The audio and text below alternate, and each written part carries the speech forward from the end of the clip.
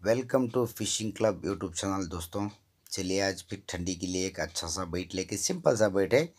अगर आप ये बैट बनाएँगे, अगर आप ये वीडियो हैंडिंग तक आप देखेंगे तो ज़रूर इंशाल्लाह मछली पकड़ेंगे। देखिए, ये बैट पिलापिया टेलापिया के लिए और रहू कार्प के लिए काम करता है।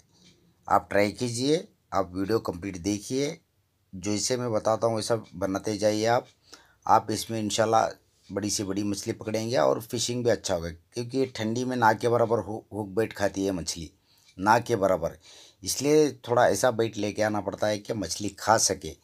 अभी जो इमेज आप देख रहे हैं, ये मछली हमने पकड़ा है, हमारी ग्रुप गई थी, पकड़े हैं, एक से चार मछली पकड़े हैं तो ये किसमें पकड़े हैं, किस ग्राउंड बेट में पकड़े हैं, किस मसाले में पकड़े हैं, मैं ये भी नेक्स्ट वीडियो अपलोड करूँगा, क्योंकि ये ठंडी में जो मैं अभी आपको बता रहा हूँ, ये सिंपल सा बैठ है जो मछली वाला जो देख रहे हैं इमेज अब इसका तो वीडियो में अपलोड करूँगा नेक्स्ट दो तीन दिन में अपलोड करूँगा, क्योंकि कल फिर फिशिंग के लिए जा रहा हूँ मैं। जाने के बाद में फिर एक बार ट्राई करके आपको अपलोड करके बताऊँगा। रिज़ल्ट तो अच्छा मिला है, फिर भी मैं अपलोड करके बताऊँगा उस किस मसाले में पकड़े हैं, क्या चीज़ में पकड़े हैं, और उसको हुक बेट क्या डालना है, मसाला कैसे करना है, किस टाइप करना है, ये नेक्स्ट वीडियो में मैं आपको बताऊँगा, और वीडियो पे अपलोड करूँगा, जो मैं खुद फिशिंग किया है वीडियो अपलोड करूँगा। चलिए दोस्तों, अभी जो भी लोग मेरा सब्सक्राइब किए हैं चैनल, वो वीडियो कंप्लीट देखिए, लाइक कीजिए, दूसरों को शेयर कीजिए। अभी जो नए से आए हैं, जो वीडियो वॉच कर रहे हैं, उनसे रिक्वेस्ट है कि चैनल सब्सक्राइब कीजिए, बेल की घंटी दबाइए, जो भी नोटिफिकेशन आएगा तो आप उससे फ़ायदा उठा सके। मैं जो वीडियो अपलोड करूँगा, उसका फ़ायदा उठा सके। चलिए आप बैट बनाएँगे। इसमें ज़्यादा कुछ पढ़ने वाला नहीं है। हर चीज़ भी काम की चीज़ है, हर चीज़ भी मछली पकड़ने से फ़ायदा होगा। कंप्लीट वीडियो वॉच कीजिए। चलिए स्टार्ट करेंगे। इसमें ज़्यादा कुछ नहीं दोस्तों।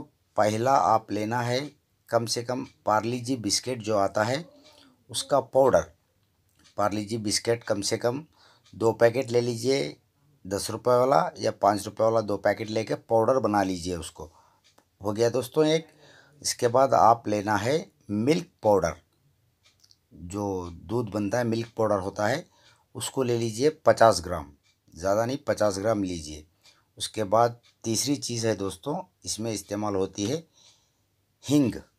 हिंग लेना है आपको कम से कम दस ग्राम।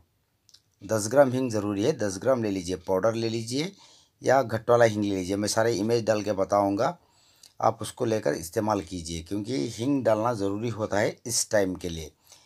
चौथी चीज़, कपूर खिचड़ी। उसका पाउडर बना लीजिए, वो भी इमेज डालता हूँ मैं। वो तो कम रेट है, बहुत कम रेट में मिलता है कि पंचरी की दुकान में जाएँगे आप तो बहुत कम रेट में पलता है। उसको ले लीजिए। पांचवी चीज़ है, भात पुलाव। राइस और उसमें चना डालिए।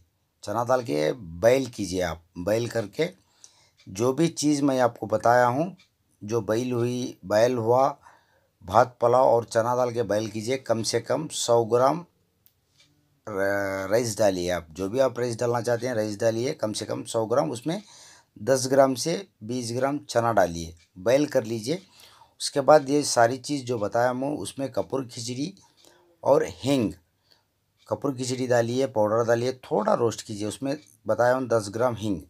दस ग्राम हिंग डालिए उसमें, थोड़ा ज़्यादा नहीं रोस्ट कीजिए। उसके बाद आप सारी चीज़ें भात पुलाव पे मिक्स कर लीजिए। भात पुलाव पे मिक्स करके आप गूंदना चाहिए। जैसे आटा बनता है, हुक के हुक के लगाने के लिए आटा बनता है उसे गूंदना चाहिए। उसमें थोड़ा बचाकर आप ग्राउंड बेट कर सकते हैं। करके हुक को लगा के फिशिंग कीजिए, इसका बहुत बढ़िया रिज़ल्ट है। बहुत अच्छा है। अगर आपको जो भी जानकारी चाहिए, अगर समझ में नहीं आया तो मुझे व्हाट्सअप नंबर पर कॉल कीजिए। मैं इंशाल्लाह बताऊँगा। ओके दोस्तों, थैंक यू।